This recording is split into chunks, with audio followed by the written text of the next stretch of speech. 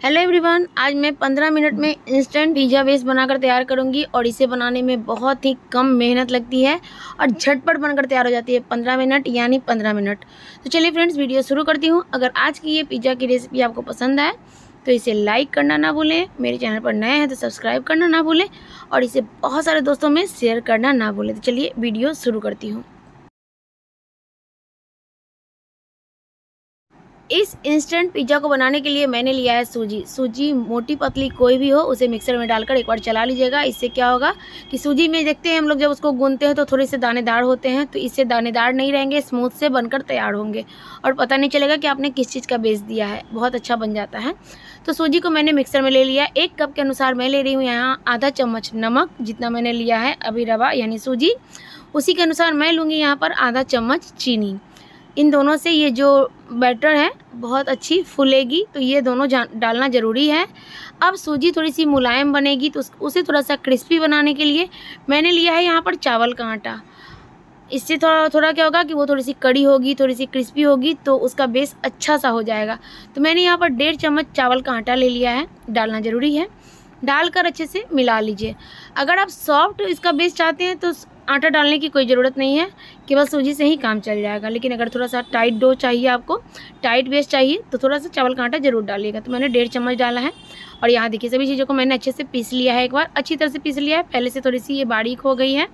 चलिए, अब अगला प्रोसेस करते हैं। तो एक कटोरा मैंने लिया बड़ा सा, जिसमें मैं इसमें सब प्रोसेस करूँगी। बड़े से कटोरे में मैंने सूजी वाले सारे मटेरियल को मैंने डाल दिया। रात को मैंने जोरन लगा दिया था मतलब दही जमने के लिए रख दिया था तो तुम फ्रेश दही मैंने लिया है, लगभग एक कप, जिस कप से मैंने सूजी लिया था, उसी कप से लगभग एक कप, थोड़ी सी कम ही लेनी है दही, मीठी दही है तो पूरी एक कप भी ले सकते हैं। खट्टी नहीं होनी चाहिए, खट्टा टेस्ट नहीं आना चाहिए। और जो मैंने चीनी डाला है ना, वो टेस्ट को बैलेंस करने में, खटास को थोड़ा कम करने में वो अच्छा करता है। तो यहाँ पर मैंने लिया है एक कप पानी, मैंने एक कप सूजी लगभग एक कप दही और एक कप पानी लिया है। पानी की ज़रूरत पड़ेगी थोड़ी मोड़ी तो थोड़ा सा अंदाजे से डाल सकते हैं। ऐसा नहीं कि एकदम नाप कर ही एक कप पानी लेना है।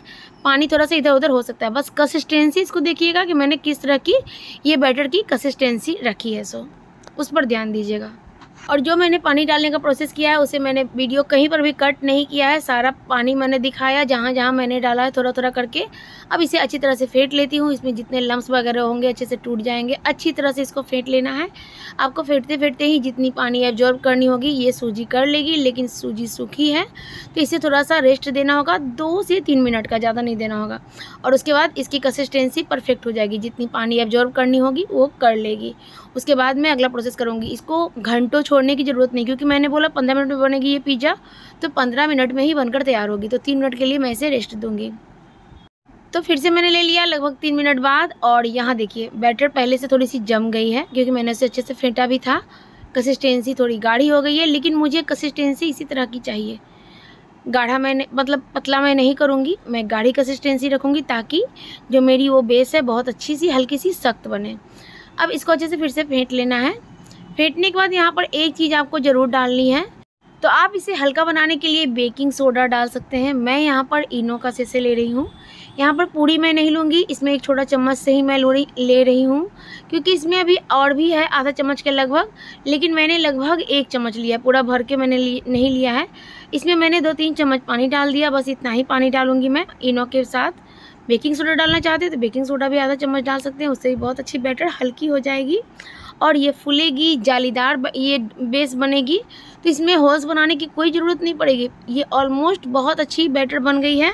जब मैं इसका प्रोसेस करूँगी तो मैं आपको आगे दिखाऊँगी कि इसमें कितनी सारी जालियाँ आई हैं और कितनी परफेक्ट ये डो बनी हुई है। मतलब जो बैटर मैंने तैयार किया। गाढ़ी कंसिस्टेंसी रखनी है बिल्कुल इस तरह की। तो चलिए, ये तो पूरी तरह से तैयार हो गई। अब बनाने के प्रोसेस प्रोसेस की तरफ़ चली जाए। और यहाँ देखिए, कितनी अच्छी थोड़ी सी फटी फटी सी लग रही है ना? मतलब बहुत अच्छी जा, जालीदार ये बैटर बन गई है। अब इस पिज़्ज़ा को टेस्टी बनाने के लिए मैंने लिया पैन पैन में मैं डाल रही हूँ थोड़ी सी बटर आप यहाँ पर घी भी डाल सकते हैं, पूरी तरह से कोई दिक्कत नहीं है। घी या बटर का यूज़ ज़रूर करें।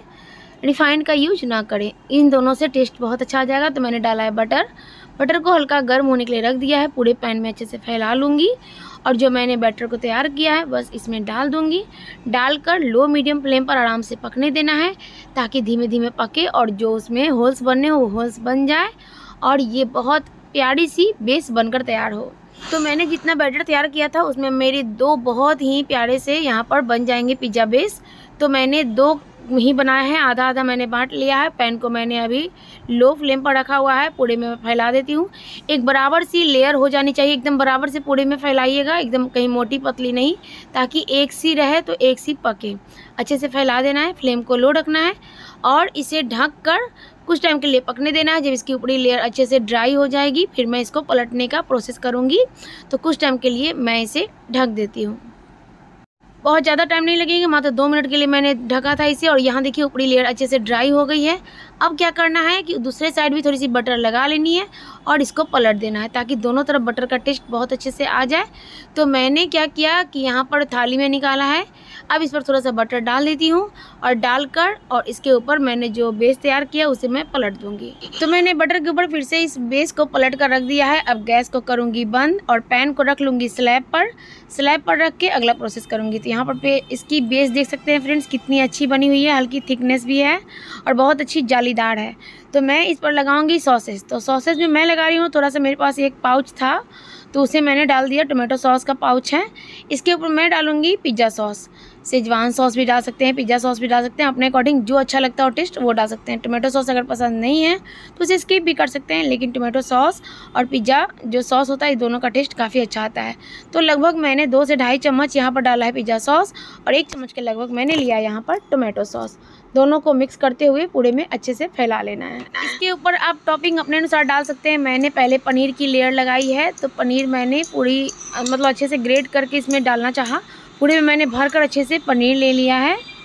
क्वांटिटी अपने अकॉर्डिंग कम ज़्यादा करके आप ले सकते हैं। मैंने पूरे अच्छे से भर दिया है इसको। इसके ऊपर मैं लगाऊँगी थोड़े से ट्रायंगल थोड़े से चौकोर साइज़ में मैंने कट कर लिए हैं। यहाँ पर टोमेटो को, टमाटर को अपने अकॉर्डिंग कम ज़्यादा करके रख सकते हैं। उसके बाद मैंने थोड़ी सी शिमला मिर्च ली थी थोड़ी सी प्याज ली थी, बस तीन चीज़ से मैंने इसकी टॉपिंग की थी और इतने में ही बहुत अच्छी लग रही थी देखने में। इसमें आप कॉर्नस डाल सकते हैं और भी वेजिटेबल्स डाल सकते हैं। तो अपने अकॉर्डिंग इसको सजा सकते हैं। आप इसको चाहें तो सिर्फ़ सॉसेज लगाकर पनीर और थोड़ा सा इस पर पिज़्ज़ा सिजलिंग होता है वो डाल दीजिए। प्लस इस पर थोड़ा सा मोजरेला डाल दीजिए। बस उतना भी इसका टेस्ट काफ़ी अच्छा आ जाता है। तो थोड़ी सी टॉपिंग रहती है तो देखने में थोड़ी सी टेम्पटिंग लगती है। तो मैंने सभी सब्जियों को चौकोर लगभग या ट्रायंगल में कट किया था। सभी चीज़ों को मैंने इसके ऊपर सजा लिया है। अब इसके ऊपर थोड़ी सी मैं डाल दे रही हूँ मोजरेला तो यहाँ पर मैंने मोजरेला चीज़ लिया है, उसके ऊपर डाल दे रही हूँ। आप सिर्फ़ मोजरेला का भी यूज़ कर सकते हैं। मैंने मिक्स करके डाला है। और डालने के बाद इसके ऊपर थोड़ी सी सीजलिंग डाल देनी है। ऑरिगेनो और चिली फ्लेक्स की। वैसे इसका मैंने बेस में नमक डाला था, अगर आप यहाँ पर चाहें तो हल्की सी नमक भी स्प्रिंकल कर सकते हैं टेस्ट आने के लिए। तो फ्रेंड्स यहाँ पर ये मेरी पूरी अच्छे से टॉपिंग तैयार हो गई है। साइड साइड से जो थोड़ी सी पनीर लगी हुई है, मैं किनारे से उठाकर इसी के ऊपर डाल देती हूँ। और ये मैंने रख दिया गैस के ऊपर फ्लेम को रखूँगी लो और पहले दो तीन मिनट के लिए मैं इसी तरह ढक कर रख दूँगी। उसके बाद मैं एक बहुत ही प्यारा सा ट्रिक करूँगी, जिसके कारण ये बहुत ही जल्दी पक जाती है और इसमें एक सॉफ्टनेस बनी रहती है और इस मतलब कि जितनी चीज़ें हैं वो भी जल्दी से पक जाती हैं। तो उसके लिए कहीं कहीं पर आपको हल्का हल्का पानी डाल देना है। इसमें जो पानी डालने पर इसमें जो भाप बनेगी उससे तो सब्ज़ियाँ जल्दी पकेंगी ही। प्लस इससे जो नीचे का बेस है, वो जलता नहीं है। एकदम बहुत ही प्यारा सा ब्राउन कलर का आता है। तो इस ट्रिक को याद रखिएगा तो आपके पिज़्ज़ा कभी नहीं जलेंगे, बहुत प्यारे से बन कर आएँगे। तो एक पिज़्ज़ा को बनने के लिए मैंने रख दिया, दूसरा पिज़्ज़ा के लिए, क्योंकि बैटर मेरी थोड़ी सी बच गई थी।